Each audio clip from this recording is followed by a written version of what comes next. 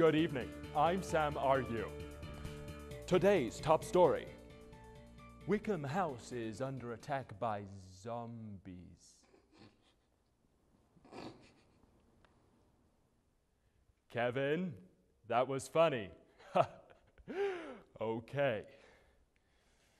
Now we go to the Peer Support Center, where Samantha is going up from a size 10 to a size 14. Samantha, what's that on your face? It's a muffin, Sam. And every weekday morning at 8:45, down here at the Peer Support Center, there's all kinds of breakfast materials for anyone. It's all free. It's a great way um, to start your mornings. Delicious.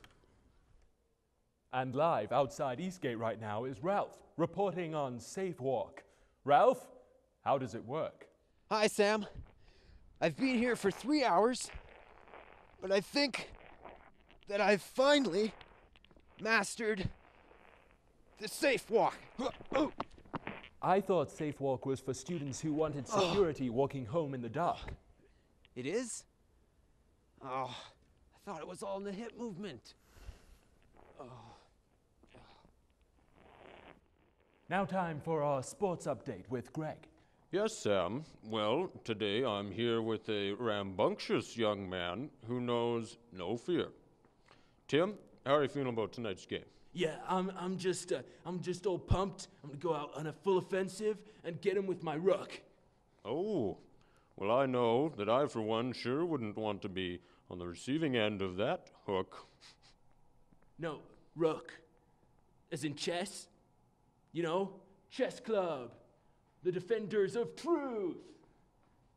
Oh, uh, Chess okay. Y- Well, I guess we're all getting pumped up for a thrilling game of chess.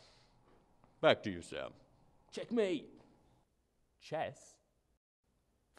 That's all we have time for. Tune in tomorrow when we'll be talking to an expert from the Zombie Survival Club and preparing for the apocalypse. Thanks, Kevin. Good night. Really, you had to give me a tennis racket? You couldn't have got me a baseball bat or a machete or something? I mean, what were you thinking, Kevin?